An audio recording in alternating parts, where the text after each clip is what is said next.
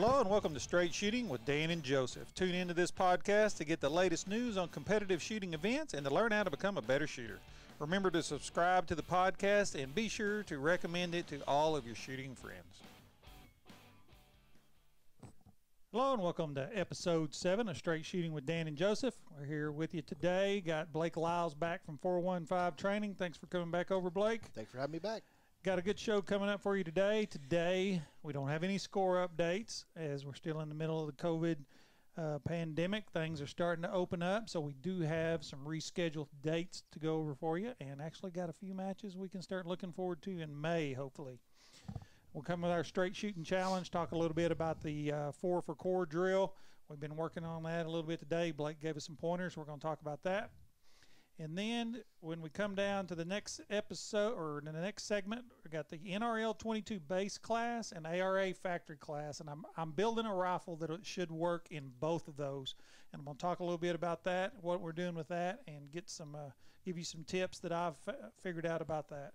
We'll finish off with bleeding off with Joseph as Blake's here from 415 training. Going to go over the four for core drill and then the four for core drill with movement Correct. And go over that drill and give some tips and pointers on that. Okay, moving right along the match update. Like I said, not too many matches going on around the country, but we have big news or good news in the rimfire bench rest world. The Triple Crown of Rimfire is a go for Memorial Day weekend, and it's actually they're still doing every event, so it's actually going to be seven, eight, eight days of shooting if Wow. you if you want to. Now, um, each day is a one day event, so you can go for one, except for the Triple Crown, which is the Saturday and Sunday. So that's a two day event. But all the other ones are one day events. Starts on May 16th in Bristol, Tennessee, Kettlefoot Gun Club. So May 16th is a Saturday. They're going to have uh, ABRA, the Auto Bench Rest Association state tournament on that Saturday. Then on Sunday, American Rimfire Association ARA uh, club tournament. Then on Monday, Monday, Tuesday, and Wednesdays, all IR 50 50 rimfire bench rest. They're going to have the state uh, on Monday, the 18th, state and mid Atlantic meters competition in the unlimited division. And then the next day, it's the same state and mid Atlantic uh, unlimited in yards. And then on Wednesday, the state and mid Atlantic 10 shot. So they're doing their little 10 shot competition. Then on Thursday, we'll be there, be running the Professional Shooting League, PSL our whole shot arms bench rest brawl. That'll be on that uh, Thursday, the 21st. Friday, the 22nd, will be the ARA state tournament. And then Saturday and Sunday will be the Triple Crown of Rimfire, which on Saturday we'll shoot three ARA targets, then three PSL, and then we'll come back on Sunday and shoot three 50 50. So come on out if you can. Uh, we understand a lot of people, different situations, a lot of people itching to get out. Cause I, but uh, but Tennessee has opened back up by then. Virginia will probably even be open back up. Uh, they've got a June 10th open date, but Bristol's right on the line, and Virginia governor's kind of uh, crawfishing a little bit, and maybe going to go ahead and open that back up. Also, the Eley Rocky Mountain Regional NRL 22 match that was rescheduled from April in Utah is now set for June 27th, 2020. So Joseph and I will both be out there for that, and looking forward to going out there um, right just south of Salt Lake. And that City. is uh, that's Jim's. Yep, that's the one Jim Cannon's Yep. going to be running. Um, originally, they had over 100 signed up, so it's going to be a really big uh, regional match there. We'll see how many people are able to carry over and make it there, but I think I would imagine the folks out around there are about like us. They're ready to do something. So looking forward to that.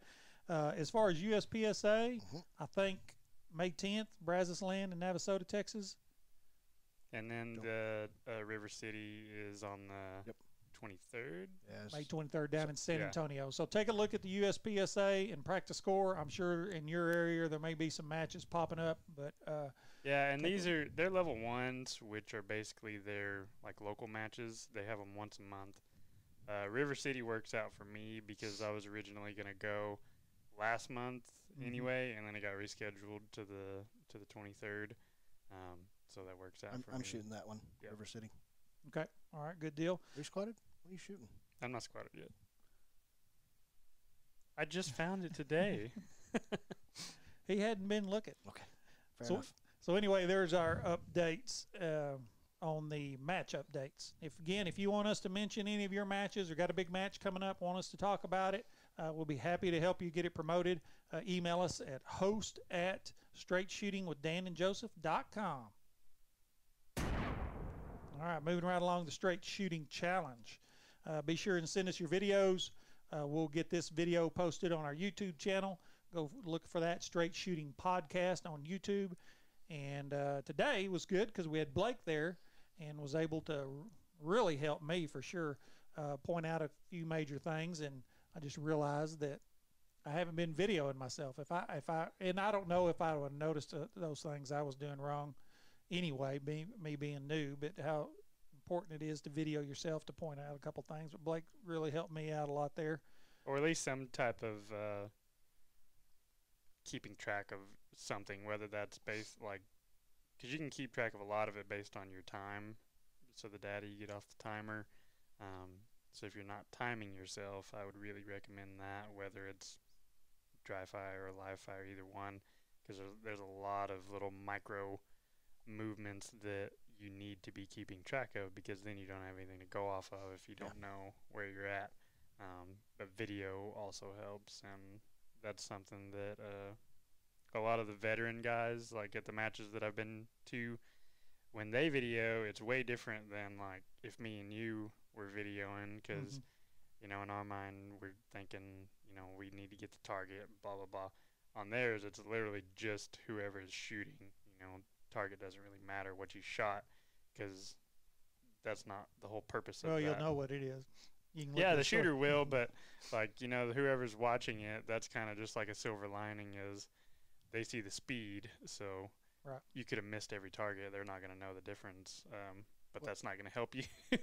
There's kind of two thought processes on on a video, and I think we talked about this a little last time. You know, for entertainment value or for critiquing yourself Yeah. value, and that should be the first should be. uh, priority. Hopefully. Mine starts off critiquing and usually turns out to be entertainment. Well, But like coming when- in, it's kind of a novelty thing for new shooters because Yeah. I was the same way. sure. like you know I, I probably look so cool doing this you know blah blah blah i'm just gonna video it just to show people like i may be showing a ton of better shooters than me how bad i am but the rest of the population they're not gonna know the difference so it just looks cool Yeah. I don't know. I look like a big, slow gorilla, I think, coming around out there. I'm like, man, in my mind, I'm a lot faster, leaner, meaner. I don't know. It just looks totally different. But Blake pointed something out with me that's already helped me with my draw, how I kept bringing my muzzle. Yep. I was kind of doing the Starsky and Hutch, I, is what Yeah. I think of, where he just kind of flipping it out there well he and called it that my muzzle down the uh rather than coming up. And man, it that already it just in the ten practice draws I was able to do has helped me pick up that Mhm. dot. And that's that's something he had to fix with me also, and I think you called it like the lethal weapon or the the policeman or something. Charlie's Angels. Whenever you're holding it Oh, like yeah, this yeah, yeah, instead of, you know, out and ready. yeah. I think of Charlie, Well- Charlie's Angels. They're sitting there. I mean, we all learn from somewhere. I know the very first match I went to is Abilene Indoor Gun Range. Never been to one before, and guy kind of pulled me aside. So, so here's some of our basic rules, and this and that, and this and that. And then I okay, cool, cool. And they had a stage where it's all indoors, so you have to everything has to go directly downrange, and they had like a little wall set up, and we had to shoot on one side, then run around that wall and shoot the other side. And so I said, okay. So I went bang, bang, bang, bang, and I pulled my gun up like this, like a cop, which the 180 rule applies left and right and Also top and very bottom. And it wasn't a 180, but it was 179.2, you know, and it's like, so just so you know, Yeah. we all learn. Try to learn. Hopefully learn. Well, tune into that, and you'll see Joseph and I going through there. I think I hadn't figured up our hit factor, but you probably beat me. Uh, I had more alphas, but uh, but yours was a lot faster. And as we calculated last time, as long as you still got a Charlie, that Yeah. that's don't want any deltas, don't want any mikes, but On a in lower- in, an open, in open, an alpha or a Charlie is a Charlie's not going to hurt you that that very little. So And that's kind of how, um, whenever I'm imagining thing, because it's easy to get it in the mindset. Same thing whenever you're like pre-planning your stage run before you actually run it. In your head, you're gonna do everything perfectly, mhm. and so you're gonna get however many shots there are, you're going to get that many alphas, and you're going to do it in five seconds. When realistically, you're going to have two or three Charlies, probably, and your time is not going to be whatever you just imagined in your little pre-stage plan. Um, So you want me to visualize my misses? well, I I purposely throw like I'm just two or three Charlies in there because I know, and I mean, if it's a super easy, like close frame target, maybe if I slow down, I'll get all alphas, have a- have a clean stage. But I'll usually allot myself one or two Charlies, depending on however many rounds. If it's a 30 round stage, I'll probably throw like four or five in there. Yeah. Um, just because I I try to keep myself from getting into that like I'm gonna do everything perfect mindset because it's the same way whenever when I first started, and that's I think it's something that a lot of new shooters do. Whenever you're in your little pre-stage planning session right before you're about to go, whenever it's your turn, you come up, you get everything ready. Well, there may be five targets, and they're going. Yeah, you just went through all five in about half a second. When in reality, it's going to take you five seconds to go from here to here to here to here, whether it's two shots, whatever. And so to keep out from getting to that mentality, I try to be not perfect in my own mind because Yeah. I know I'm not going to be in reality. Uh, so that's what I try to do. All right, so send us in an email to host at Straight Shooting with Dan and Joseph with your ideas on what we should do. Uh, Mark had sent one over about the um draw, shoot, drop the mag, or reload and shoot one more, and had the video of the guy doing it in like, I don't know. Oh yeah, I don't remember who that guy was, but I'll bring it up. But anyway, we're going to try it and play with it. I mean, it was like, his reload was there. w- His split, like you couldn't even tell that he reloaded between the shots. Wow. It was crazy fast. They and they slow mode it down, so he's dropping the mag, and as the mags, I mean the mag, they almost run into one another as he's bringing up his mag. I mean that dude was like I don't remember. major that guy- fast, and I'm sure he's probably done it ten thousand times. But There's a video out there when Travis Tomasi was on the uh, AMU, and he was actually still on the AMU team of him doing his kind of dry fire reloads. They're pretty dumb. they're they're they're really you know he's dropping this mag and this mag is right about here as this mag is just coming out of the gun and they just they pass each other right Yeah. there and Yes. it's just belligerently cool There's to watch only that, man. space Yeah. to go in. Yeah. exactly. Okay, so email us hot, uh, host at Straight Shooting with Dan and Joseph. Yeah. All right, moving right along. Precision Shots brought to you by Kello Shooting Sports, your one-stop shop for competition shooting needs. All right, we've been talking about NRL 22 base class. ARA, American Rimfire Association, also has the new factory class. I want to do both. So I'm trying to set up a rifle Okay. where we'll work in both. And actually, I, I think it's going to work fantastic. So the uh, NRL base class, their rules is the rifle and the scope, the MSRP total has to be 1050 or under. So I'll take the MSRP. They also say it has to be currently in production, which is um, so all of your older rifles are out. It's got to be now you can use those in open, but you just can't use them in the base class. So uh, what a lot of guys do is um, talking with Jim Cannon in our last episode. The Tikka T1X is real popular, and the CZ457 is real popular. And match that up with an Athlon scope. Athlon scopes are reasonably priced, but seem to have really good quality. So what we're doing is I'm teaming up. It's pretty So tight basic- budget. Yeah, it is. Mhm. It is. For a Cool rifle rifle. and a scope. Yeah. Um, and- but that's what honestly the Athlon scopes. Them things are nice. Yeah. I mean, and they're They and they're they're for that specific category, like having wanting a quality scope and having to come in under this price, that's like the perfect Yep. product. because they. So I'm looking at the Athlon Argos BTR. That's uh, Bravo Tango Romeo BTR Gen two. Um, and there's two basically that'll work. Um, there's a six to 24 by 50, and that's 450 MSRP. And then uh, that gets me well within um, by the time you add the Tikka or the CZ. And then the because I'm going to be using it for bench rest though, I think I'm going to go ahead and go with the 8 to 34 by 56 and it's 499. So that and either the CZ or the Tikka come right under that 1050. hmm So that's what I'm putting on. I'm putting on the Athlon Argos BTR Gen 2 8 to 34 by 56. And basically, Does that? Uh, I know they have a 10 by 40. Does Yeah. that one? that one gets it it, over. Yeah, it Okay. does. And uh, it's just barely over. But, Okay. and I was worried, and I don't know, me being inexperienced on the NRL 22, some of them they have that. I don't know if 10 is going to be too Oh. much because For they a do shorter some, range, Yeah, for yeah. a shorter range. So I'm going to, hopefully, 8 will be okay. I mean, mo- I know a lot of them do 6 to 24, so Mhm. I just was worried.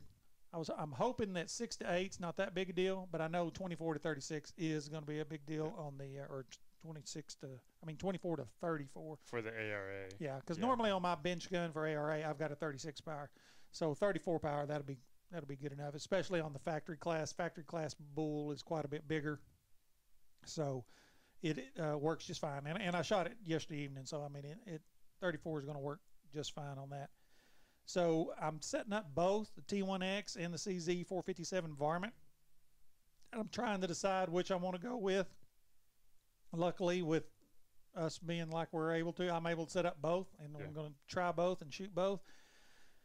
And a couple of things that they're kind of persuading me. Um, the Tikka comes with a muzzle already threaded for a suppressor. Now, I don't have a suppressor. I wouldn't mind getting one, but I don't. I don't if have you don't one. already have one. Yeah. That's Yeah, so I mean that's kind of for me, mm, it's not that big of an advantage. Now some people that may be all the difference in the world.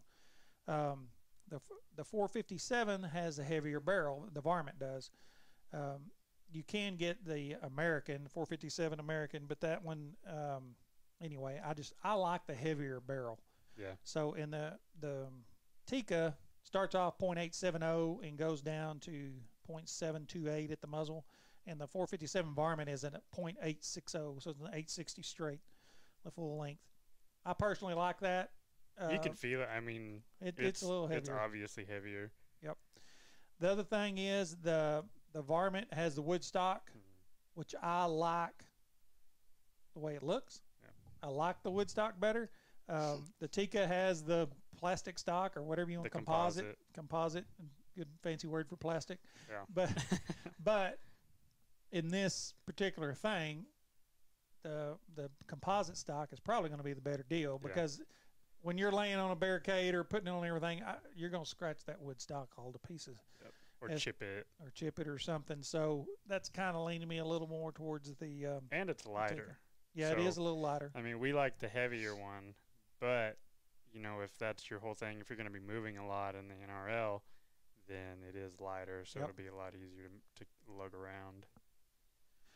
Uh, now both of them, I'm putting the EGW, the Evolution Gunworks, uh, 20 MOA base on there. They both go on there real simple and easy, and uh, that converts it over to where I can use a Weaver style or Picatinny style ring. And I'm putting the uh, Burris Signature Z rings. I've always liked the Burris rings. They're the one. The Signature Z have the um, inserts in them. hmm I like the inserts because one, they hold well, and two, they don't mark the scope. If you ever take Yeah. that scope back off, it there's no ring marks. And every the, other the rings I've ever are plastic. The rings are metal, but the inserts are plastic, right? and so they don't mark it up. The other thing is, now I'm not going to need it for NRL 22 because that's just to 100 yards. But if we ever start doing some of the ELR, extreme long range, or anything out farther, those inserts come and they can give you some 10 more MOA Mm. uh, in those. They've got off. They've got different size inserts in order to so you can get some more. You might be able to get 20 MOA actually, because they have a minus 10.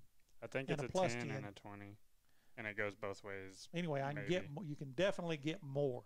So if I need it, I can flip those around. Uh, I have the zeros in there now, which means there's they're just straight ahead. There's no MOA built into that. Then I put a bipod on them. Um, and my plan is I'll take the because the bipod just clips on or not clips, it tightens down onto the swivel stud on the front. Mhm. When I go to do the bench rest, I'm just going to pull it off, um, and it'll ride the bag. It's super easy to put on and off. And uh, based on Jim Cannon's recommendation, I went with that Harris Ultralight Bipod Series S in the six to nine inch. Going to go with that. Still haven't got me a rear bag yet, so I'm looking for recommendations for the rear bag for the NRL 22. Uh, send those to the host at straight shooting with Dan and Joseph.com.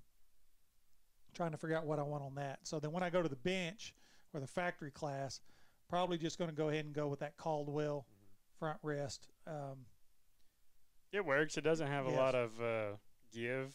I mean, it's it's a a set shape and size, and you can't really change that. Right. Um, but I know a lot of guys will just use those little s- stuff sacks that they just fill with sand, Yep. and you can drape them around something or fold them if you need it taller, or kind of squash it down if you need it lower. Um, but we'll just if you've got one that you use or one that you would recommend to somebody, just let us know. All right, and then both of them, I'm feeding the the new Eley semi-auto bench rest uh, precision.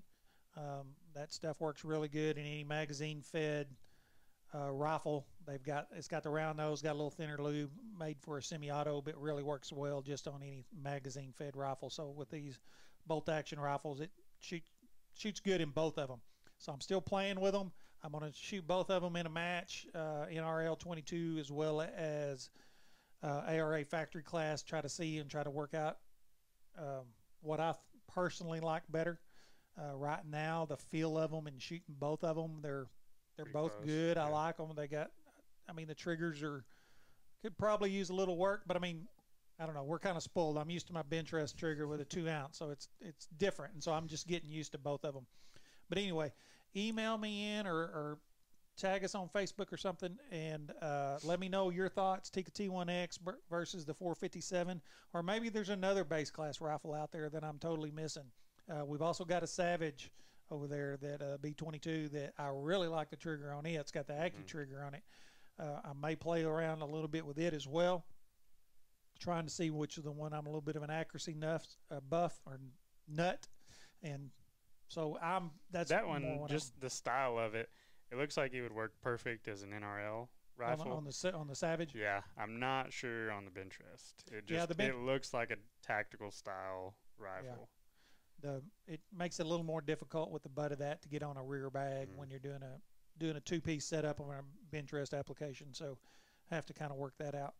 But anyway, email us host at straight shooting with Dan and Joseph.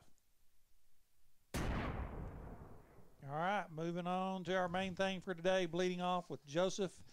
Uh, Joseph's got Blake Liles back in 415 training and talking about the four for core drill, and then we've got another one for this month or Mhm. this episode.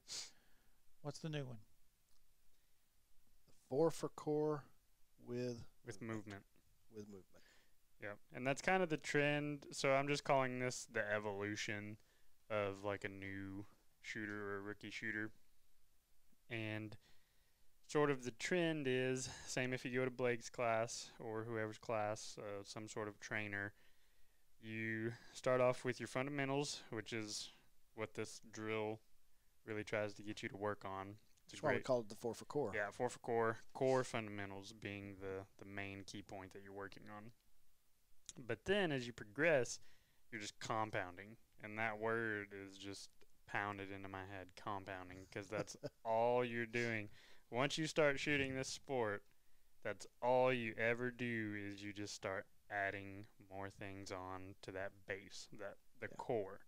And so this is a great drill and that's basically what the movement is is you're compounding things on top of that so you've got your four things that you're working on initially and you can drill that until you run out of ammo or your gun explodes or stops running i mean you can drill that until the end of time and then when you're ready or even when you're not ready whenever you want to start compounding this next movement and so it just adds something else to work on so Okay. in, a, in a perfect world you would perfect those core fundamentals before you move on to the next one. That's not really how it works because how do you know? work for me. yeah, how do you how do you know that you've perfected it? Or once you add this little small micro transition or small movement, your fundamentals kind of go out the window because Yeah. everybody reverts back. And so this is just compounding those things. So it's giving you more things you have to think about, more things that you have to work on, and it kind of shifts your focus from those fundamental base things to now these new things that you probably weren't thinking about before that you need to work on, and now you are because it's hitting you in the face Yes. once you try to do it. Okay. Um, Quick question for Blake. Remind me the core that we want to. Core is stance, draw, grip, trigger. Got it. We do those four things as best we can, no matter what we're doing. Movement, standing still, on our head, whatever. All right, so I'm working on those four for core with Yep. four for core drill with movement. Yep. All right, so tell me about that drill break, Blake. So- Break. I, we we tried to keep. Okay, nobody ever calls me Blake. It's always anyway. Um, we tried to keep the setup as as similar as we could. So the setup is basically the same. Uh, from center line, four yards up, four yards to the left, a target. Ten yards up, four yards to the right, a target. And then the last drill was a box in the center. This one now has two boxes, one yard off to the right, one yard off to the left from center. And the movement is just uh, from the left box, engage with two rounds, the target directly ahead of you. Change boxes, shoot the target from the right target from the right box with two rounds, and then repeat going the other direction. And it's it, it's pretty typical of what we do at any match. We're always moving from position to position to position, and moving in and out of those positions effectively is the key. Really shaving off pretty big chunks of time. Yep, and like you saw, so yeah, it sounds pretty simple. It's oh, it's the same drill. You're just going from position A to position B. It's only two steps, no big deal. Yeah, but or for you, it's one step. Yeah. and uh, but as you're doing it, you realize, okay, they're just within this seemingly simple movement. I have to work on my exit and my entry, entry foot, lead foot, exit foot. You know everything, an easy entry, hard exit. Somewhere in exit, there, you still entry, have to have to be visible of the gun, keep the gun up, and start shooting Yep. back on it again, which is we found, you know, is is, is still challenging because all those things, as we said, there's seven or eight or ten things happening inside of four seconds, Mhm. and they're all pretty critical to completing that drill well. and that's that's kind of what I like about the the training aspect in general is because you can you can lay it out for me kind of like taking a test you know in a classroom or whatever you can see it on paper and your orientation on what you need to do could be pretty close or it could be extremely far off from like the correct way to do it that Mhm. You know you just don't realize that that that's a better way of doing it until you see it done. And so that's kind of what you'll see that's most of what you'll see on the video is you'll see me and you do it and then you'll see the correct way to do it or you know a more efficient way. I don't want to say correct or Yeah. wrong right or wrong it's it's more efficient. Um, so whether that's faster or it's it's a way to make up more points with less time it's just it's a it's a more efficient way and you're going to perform better if you can recreate that or if you are coachable and and take those points uh, and work on them Yeah. that's about right That's about right. Cool. Yeah, it's a good little drill. yeah and it's the uh, original drill is really good for transitions while you're still focusing on those core things. This one, you start compounding those four core things with exits and entries into positions. So going from like the regular base uh, core for four drill, if you had a student, so say either Dan or I, or we can both be students, whatever. Um, we've already ran that drill, so we're at we're at one of your classes, probably level one or whatever. Um, we're at the class, and we're just moving on to the next thing. So would you set it up and say, okay, you know, how would you do this, or would you just lay it in front of us and say, run this, how how you think?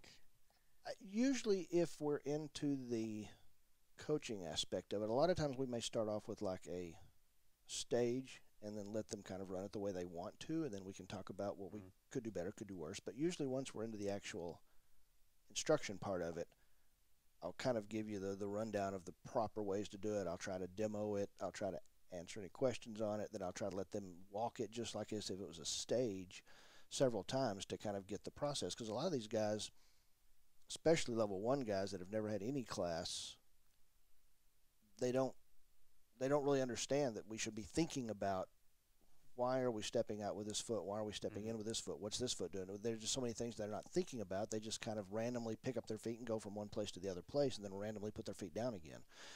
And and that usually shows when they run a stage because then they'll randomly come into some sort of position. Then you'll see the guys that'll like stop here and they'll shoot, and then the next thing something way over like that to lean because they're out of position. So that's my whole process. There is is, is why are we going from A to B, and why are we not thinking about what our feet are doing? So you know we'll talk about it and demo it and let them work through it. Then they'll run it a few times, and then I'll say, okay, did you know what you did? That's usually my big question. Do you know what you did? hmm they'll say, "Well, I did this," and I say, "And you did, you know, you're you're you crossed your feet, you stepped wrong, you were balancing on one foot instead of being planted, or whatever the process is." But trying to Mhm. make them start, you know, because it's I- I can coach you all day long, but until you start processing it yourself and able to run something yourself and go, "I know what I did." Let's back that up and let's try that again and do it right. Even Yep. if I got to turn the dial down and slow it up a little bit. And even so, even before we ran this, uh, I actually wrote down what I was going to focus on, um, and it ended up being pretty close for for the most part. Uh, some things were a little off, uh, but on the movement, so my focus is stepping off with the correct foot and creating easy entries and exits where they're available. Which for these for those targets, they're not really hard exits. Uh, just because they're not like hardcover or it's a it's a full target orientation. All right, so tell me the difference between a hard and a soft. So Hard and easy. yeah, hard, Hard- and easy. Hard and easy. Okay. hard and easy. So there's when when we let's just look at position one to position two. We have one exit and one entrance. Depending upon the target, if it's a hard target, a, a piece of steel at distance, a partial, a no shoot, a head only. If it's a hard target, it literally becomes a hard exit, meaning we have to give our full attention to making two good sh- shots onto that target before we decide to leave. If it's a easy exit, that means it's a wide open target or it's a really close target or it's a target that we feel we can make two good shots on pretty quickly and while we're making those shots begin our exit. So and there's lots of different versions of how we can begin that exit, but you know, usually the one thing is just, you know, fire around and then start picking up your foot and starting the exit process, firing that second round. And that's would- exactly what. So what you did today. So like whenever you've got your left and right targets, once you. So you've shot one round at that left target. You know after the second round you need to begin that movement. That's exactly what bleeding off is. Is exactly what it is. you go bang, you pick that lead foot up, you get it ready, and you can even take that shot with that foot in the air or just as it's coming off the ground. That's exactly what that is. Yeah, because it's legal as long as it's not Yeah. touching outside. Correct. Correct. And, th- and this particular drill is box to box, and I've kind of evolved away from boxes because we just don't shoot in boxes very often. Mhm. If they do, it's a classifier. But the boxes give us that very defined space so that we can start to understand that process. And then we take those boxes away, and then we still have the same process, but we don't have foot faults in the way. But you know, the whole thought thought is is anytime you can do two things at once, it's it's Mhm. always almost always faster. And so the thought process there is I can begin to go that way while I'm shooting two rounds over here.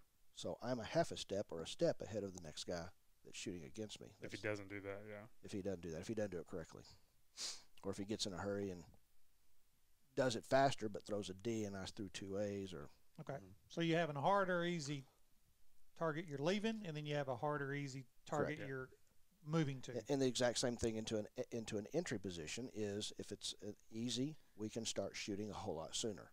If it's a hard, you know, partial steel, whatever, if it's a hard entry, we need to be a little bit more planted Need so that we can set. make Yeah. those good shots. And that's everybody's skill level. You know, my skill level on a on a hard is a little bit different than your skill level. You know, Max's is a whole lot different than all of us. But it- it's all your skill level as to what you feel you can comfortably make those shots at. Mhm.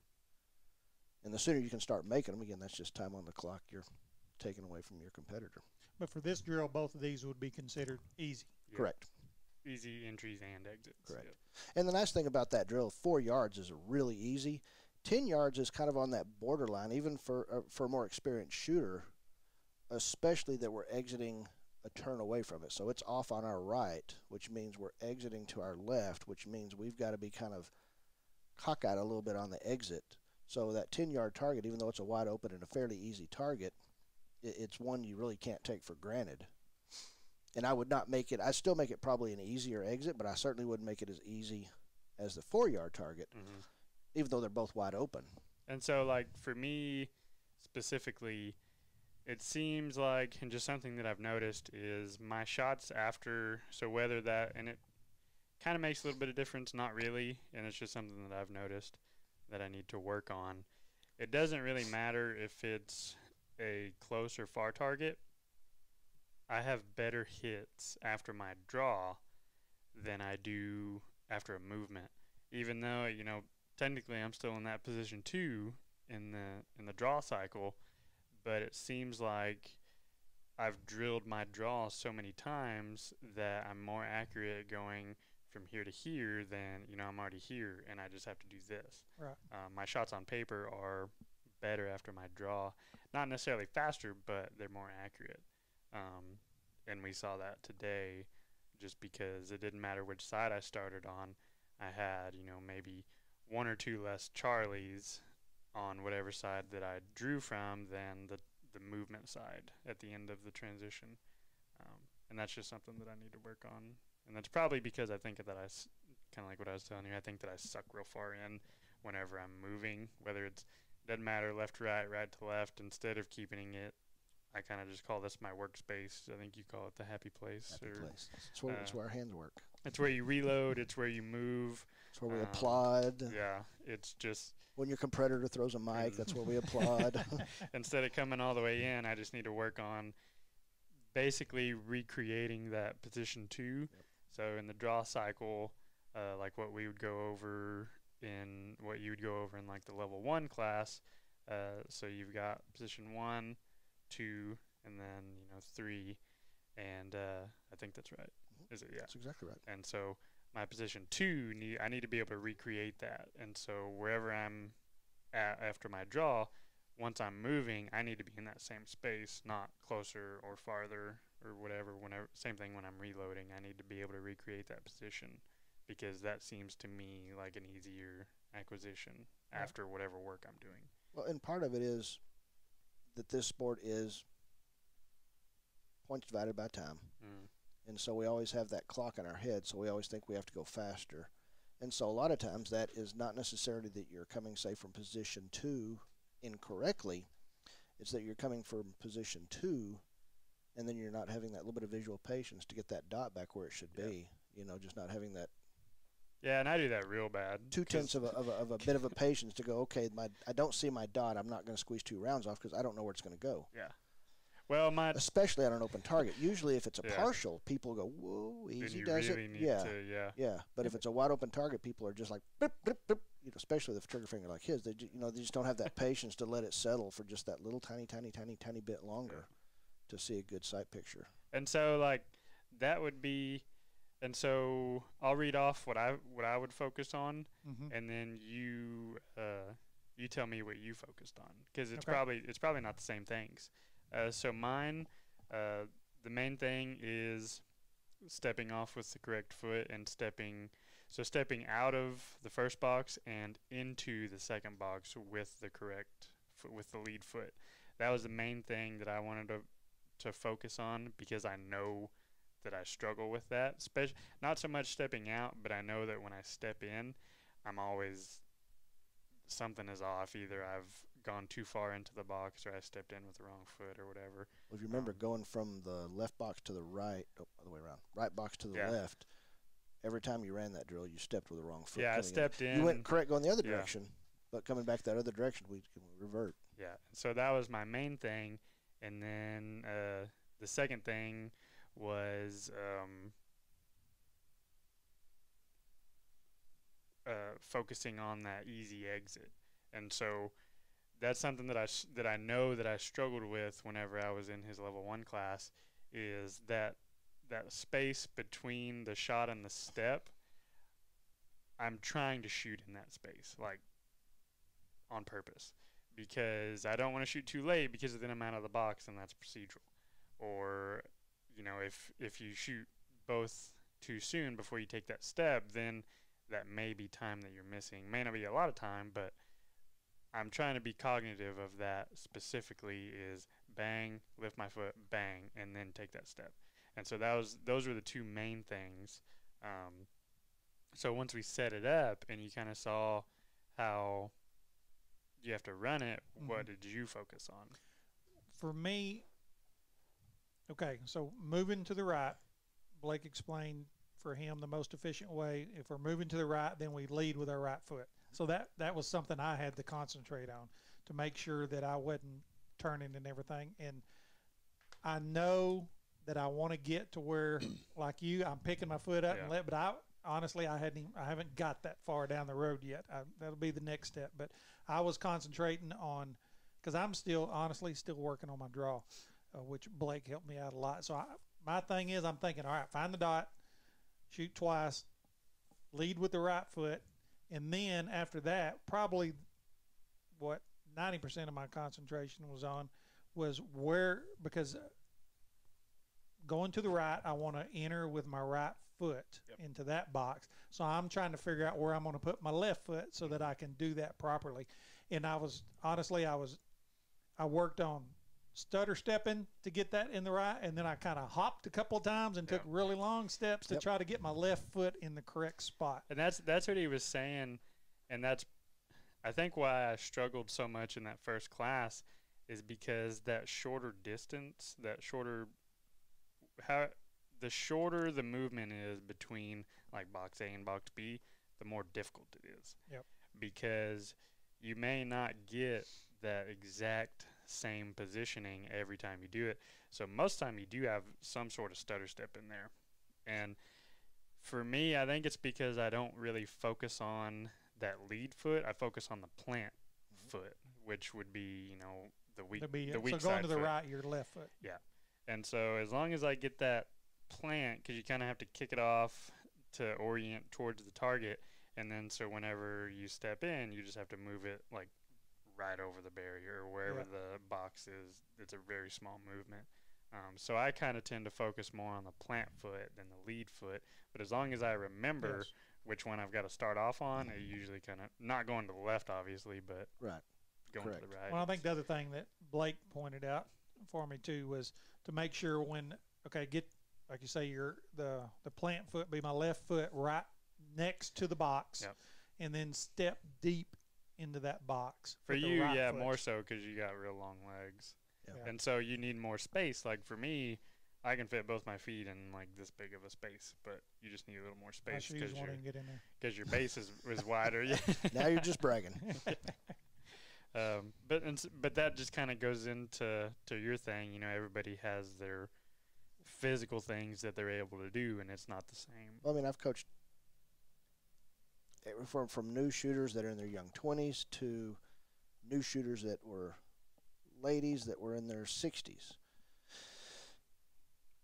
And and everybody has their own Yeah. their own personal issues to deal with, whether it's a longer step, taller guys, shorter guys, Yeah. bad hip, bad back, bad knees. I mean, I've had uh, I've coached some guys one time, and you know, my my thing is uh, for a right-handed shooter, the right-handed right foot should be back just a little bit. I coached some guys one time and their feet were backwards, and I said, "Okay, let's talk about your stance real quick." They said, "Wait a minute, before you go too far on that, This we is teach fencing." Yeah. And this is our na- normal stance for fencing. And, and, okay, but we're not fencing, so okay, we'll move on. Well, It'd it- probably be the same for like uh, a cross-eye dominant person or or something along those lines. Yeah. Uh, I or, or me coaching a left-handed shooter would be a challenge, just because everything look, looks so it's backwards. It's, mirrored, yeah, it's it's kind of hard to get a grasp and wrap your head around. What- Okay, let's think about that draw stroke. Okay, it was correct, even though their hands are in the weird position. But So that was what I was concentrating on the first time, and then I realized everywhere I messed up. and so then the next time, because one of the things I did, which which Blake helped me with, um, I knew something was wrong. I didn't know exactly what it was. But it was good to have Blake's insight into seeing, actually seeing it in his experience to point out, okay, here's what you were doing. And what I did was, I, I got in my shooter stance. I draw and sh- I drew and shot the first target, and I'm down in the athletic position. I turned and moved. When I turned and moved, I stood up. Yeah. I went up straight, and then when I got into the second box, I turned, uh, shot, and like I shoot once, and, then I drop down. realized, and then I realized, oh shoot, you got to get down. So then you drop down. Well, then you drop down, like Blake said, I dropped down 18 Yeah. inches. So it's like boom, boom, a hit Yeah. top, a hit, a hit shot, Yeah. growing shot. Well, it's like it's like the coach that saw you do something wrong, so he blows the whistle and says drop, and so you you know you get down in the athletic position. Um, that's something. Staying low is something that I also. It's kind of in the back of my mind. Obviously, I don't have to. I don't have a big as difference as you, um, but you'd probably like contribute that to like football or baseball or whatever like I was telling Blake, I contribute mine more to band because I was in band for like 10 years and we do a lot of footwork. And so going, not necessarily on the drill we did today because you're not shooting between those positions, uh, but you have to work a lot on pivoting your feet towards your direction of travel while your body is still oriented towards a target. Yeah. And so you're always going to be like this or just like when you said when you plant that foot it's facing forward Yep. not just to be next to the box but because it's facing the target and so then you just kind of roll around and orient your body towards the target but band that's the first thing my mind goes to. I'm like we worked on this in band because we had to roll our feet because if you transfer that to the shooting world what does that do? That keeps your dot from bouncing around because Mhm. you're you're smooth in your steps and so it's a lot smoother.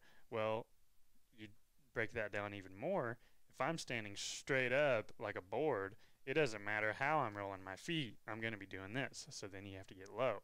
And i've had multiple matches where it's mostly on steel i'll get a couple misses and the first thing i do before i try to fix anything with my grip or my stance or whatever, I get lower. Mhm. That's the first thing I do is I just get a little bit lower and I usually get a hit Yeah. right after I do that. All right, there you go. There's your plug, all you high school age people. Band. Be in the marching band Yeah. to learn how to do good footwork. I was not in the marching band. Yeah. I was honestly mine. Um, I got all my height when I got into between my seventh grade and my eighth grade year. Wow. And I was a looked like a Basketball baby, yeah, baby giraffe. no, but I remember though how I remember I had a we were warming up for a basketball game and I had gum, and my coach brought me over and he said, "Spit out that gum," and I said, "Why?" He said, "You can barely walk and dribble the ball. There ain't no way you can chew gum Chew and gum. walk That's and funny. dribble." Yeah, and he was funny. serious as a heart attack. But that's that's one thing that helped me uh, specifically for the the movement and the footwork aspect of it. Um, the sports side of it goes into like the stutter steps. So in that little short distance, you are probably going to have a stutter step somewhere in there. So those little quick quick foot movements, band's not going to help you with that because there's Right. no quick movements in band. Um, so that's kind of where the sports aspect comes into it. But a lot of this carries over to something that like you or I did in high school or what Blake did in high school that built those foundations and now we are seeing them come back as to something that we need to iterate into this sport. Uh, Well, then the other thing that threw me off on it is like, all right, got this down. We're gonna, I'm gonna draw. I'm gonna shoot two at this one. I'm gonna move to my right. I'm gonna leave with my right foot. I'm gonna enter with my right foot, and I'm gonna shoot those two. So I'm like, all right, I done it, did it. All right, this is good. Okay, now let's do it to the left. Oh crap! Yeah. Now- wait a minute. Wait a minute. Wait a. That's right. I don't do anything good with my left hand. So, and then honestly, that was for me, at least mentally, when I do anything to the left, it seems more difficult. Yeah. Well, I think um, I don't remember if you told me that. It's more. It's for right-handed shooters. That is natural shooting left to right. It's just a more natural. It's also safer for us if we have to reload.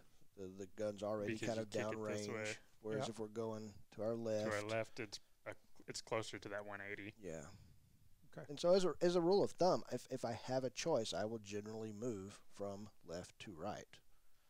But one of the things I say lately is that you know there's what I want to do and there's what a match director allows me to do. So Yeah. I, you know it's always good to practice things, even though especially if we're not good at them or if we struggle Yes. with them to to practice on those. You know a lot of guys will go out there and they'll say you know I'm I'm the king of the world on on on the bill drill. I run that all day long and that's really good. That's awesome. 17 splits, 16 splits, 13 splits, whatever. That's awesome. But what what can you do, you know, on a stage? Yeah. And so practicing those things we're not good at is where we start. Another thing I think I learned today doing this, I'm going through a lot of education, so I'm used to studying, looking at books, learning how to do these things. But, and so I think, all right, I can do that. You've given me this drill. I can go work on that drill and get better. But just having Blake's eye there going, oh, well, you're doing this with, I mean, because he fixed Yeah. my draw with like, just by watching the video. Something that me you wouldn't notice. something that I didn't even know. And I'm like, I'm working on my draw. I'm trying to get faster, but I never can find my dot. And Blake says, well, it's because you're drawing wrong. You're doing like, do this. And I was like, practiced it 10 times. Holy crap, that's a lot better. Yeah, way better. that's, that's way, way better. So, I mean, I can't iterate. I know it's good to do this, but get with Blake at 415training.com and let him work with you because he, he can save you so much time. Because I've been working on that since day one. Mhm. How many months have I been wasting that he fixed in two well, if, seconds? if you don't know what what you're needing to fix or how to fix it, then it doesn't matter how many times you do it. You're going to be doing it wrong. Well, and that part that is I didn't even yeah I didn't even realize it was Right. wrong. I was just trying to keep trying to make it faster. I was doing the wrong way. Let's make it faster, faster, faster, faster. Well, and that comes and in. I just kept thinking it's because you hadn't practiced enough. Yeah, and that comes into what's natural and what's efficient. Yeah. And that's what we al- that's what I would say is as soon as I do something wrong, I revert to what feels be- it feels natural, but it may not be as efficient as what I'm supposed to be doing. And so that's why you have to really pound these things in so that your what you're reverting back to when something goes wrong is still the correct thing. So all that you have to build up that foundation for Okay. the fundamentals not before you start count- compounding but you can't stop doing them once you start adding new things that doesn't mean you can stop doing those first four things because now we're working on 10 things Right. instead of four but it it doesn't mean it doesn't mean just work on those new six things. You still have to work those first four. Yep. And it all just compounds and builds on top of each other. It's like building a house. Yeah. Yep. You know, you start with the foundation and then you can kind of move up to the walls. But if you kind of skimp around on those first steps, then as soon Yep. as something happens, it's all going to crash down. So in your classes, how many le- you've got level one classes, level two classes? So I've got level one, and level one has remained almost the exact same as the day I created it. Okay. Uh, I've got multiple versions of level two. Um, and they kind of progress. They kind of get a little bit harder. It's almost like you say level two, three, four, and five, but they all still revolve around the concepts of level two. And then I have an advanced class, and I've done that a few times, and I'm still working on that one. Level two, I really want. Level three, I really want it to be building a stage one drill at a time. And the few times I've done it, it hasn't really worked out like I thought it would. It, Okay. it hasn't really. Well, I, I can see how the two can. We could spend years. Yeah. Yeah, you can. Well, I mean, because we're we're just human, and all we can do is, is just do the best we can do on something, and just keep trying to practice and get better at it. And and it's it's not an easy sport. It's a very difficult sport to be really good at it. It takes a lot of rounds downrange, and it takes a lot of dedication to it. And it takes a lot of practice, and it takes a lot of saying, I really don't. That doesn't feel right, but I know it's better, so I'm Mm-hmm. going to erase the bad stuff, and I'm going to try to do the right way. And and it takes a lot of self-reflective going. Even me in practice, you know, a lot of days I'll be out there in practice and I'll do something, and Well, that's that's Did- funny that you said that because so whenever we were in, uh, well, you were there we, in in Rosenberg. then you had to bring that up again. well, so in my squad, uh, Luigi, I've talked about him a couple Mhm. times. He was in my squad. He's actually an SV sponsored shooter now. Good He's for a- him. He's a fantastic shooter. Yeah. Well, for this particular stage, JJ Racaza had come over to watch us, and Luigi he just happened to get a reshoot I don't remember what the deal was. It was something with a barrel or, or something like that. We got a reshoot. Well, JJ had already he hadn't watched the first run, but somebody had videoed it, and so he was like, "Hey, let, let me see that." And so he showed him, and he was like, "Oh, dude, why are you doing that?" And, he's, and this is already like it's two pros talking to each other, but and it's mostly just because Luigi was shooting, I think, carry optics, and JJ shoots open, or it might have been limited for that match. Uh, but anyway, they're shooting two different classes. They're both professionals in, what they do, but even talking to each other, there's differences in what they do.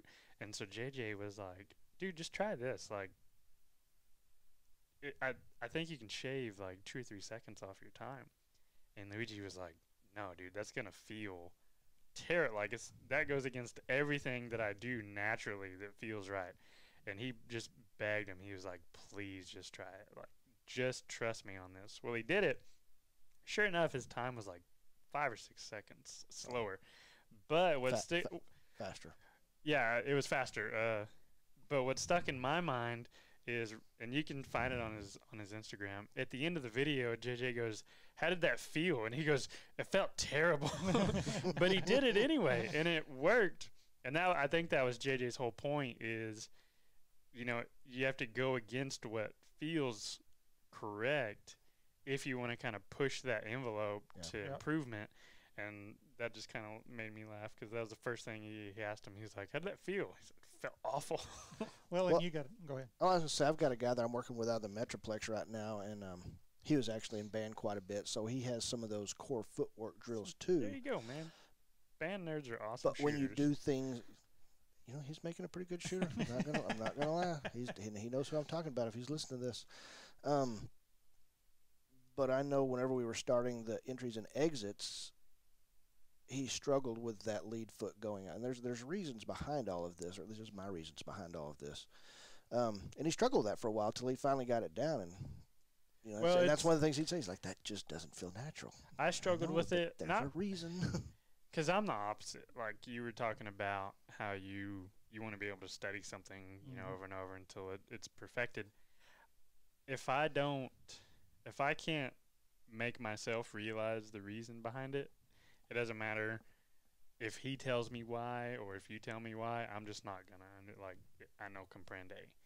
and so it took me actually seeing it or feeling it whether it felt right or wrong i was able to see the difference and so then it until that happens it doesn't stick but it's like i have this like you have, aha you have, yeah, you have to have that aha yeah moment. it's like an aha moment where once it's in then you're never going to forget it Yeah. because you see it Yeah. and it's just or or, built or in. when you actually do it and understand okay that I, Yeah. I understand now why this is better because i've been running it the wrong way and my time was this my hits were this and i ran it the right way one time mhm. and my time went whoop and my hits went better and you know Yeah. whatever that aha moment is but so as a i got one one more question no, for you no, that's what i'm here for as as a GM. So I talked about what I focused on Mhm. for this drill once we added movement, and then what Dan focused on.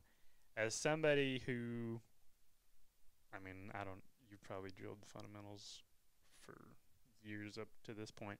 What would you focus on on this stage? for me, I mean, for me to, to to try to play at the level that I'm trying to play at, and I say trying to play at the level I'm trying to play at. I mean, I'm I'm, I'm shooting directly against Siler, and I'm shooting directly against Max when he's at open, and, and I know I'm not at those guys' league, but I'm still shoot directly against them. Um, so for me, when I focus on those things, I'm I'm really trying to focus on every single piece of it. I'm Mm. trying to focus on a good draw stroke. I'm trying to focus on two good rounds on paper. I'm trying to focus on exiting as soon as I can, whether it's a hard or whether it's an easy. Trying to focus on that footwork across, and then I'm trying to focus on my entry, and then repeating the process in the other box. I mean, I really try to focus on all of it. Mhm. That makes sense to me though, because you've got that set to where you can do that. As us Well- being new, we have to do. Now that you just yeah, have to well, continue and, and I was going yeah. to say, and a, and a big part of that is starting out in level one, let's just say Yeah. class, and getting those fundamentals, and then just beating those fundamentals repeatedly until they start becoming secondary. Now, once they become secondary nature, they're just habit. then it's not like I really have to. I don't have to think about my exit anymore. I, I know my exit's going to be there. I mean, almost always. There's always tricks that match directors do, and they make you. Crap, I exited wrong on that one. But there's always, but it's always there in my core, and I don't ever really have to say exit.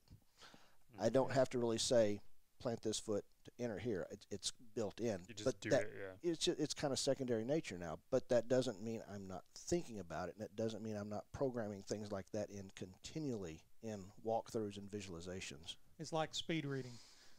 When you start to learn how to read, you learn to read one word at a time. As you get to be a better reader, you get you get to where whether you realize it or not, you're looking at more than one word at a time. Mhm. Speed readers look at an entire line at a time and then they look at an entire paragraph at a time and that's how they're able they just see it all and that's kind of the same thing It- Yeah. with him being a gm and having all this experience he's able to just focus on The whole five thing, things yeah. Yeah. rather than we're, me and you are still trying to focus on one thing Well, and you and you said that right there. It is experience. There's a whole lot of this game. I mean, a, a good friend of mine out of the Metroplex played D1 football. He's incredibly not out of the Metroplex, out of Midland, Odessa.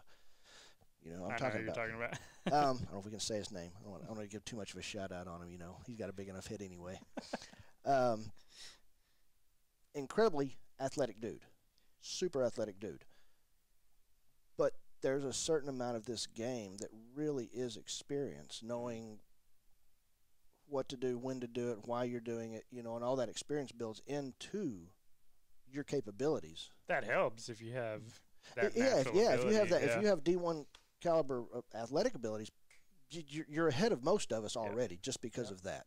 Uh, kind of like JJ Racaza. JJ Racaza, if he shot deltas all day long, he's still going to beat most of us because he's so physically fit and so athletic. But if you take that same athleticism and now you build a whole lot of experience on that, and they understand the visual patience in two rounds, actually aiming two two alphas, et cetera, et cetera, Yep. and then then your game just goes. Yeah. All right well very good well we sure appreciate you coming over and spending time with Always us a today pleasure. and be sure and tune in in a, in a month we'll have him back and he's going to bring in we're going to build on that drill add a little more onto it and uh, and get that rocking so tune in to that one that'll be epi- uh, the podcast episode after next all right well that kind of wraps up uh, our episode for today previewing next episode in about two weeks we're going to have uh, gene bucky's come from. He's uh, NBRSA Hall of Fame member, which is a National Bench Rest uh, Shooting Association, big time center fire uh, bench rest guru. Really, really want actually.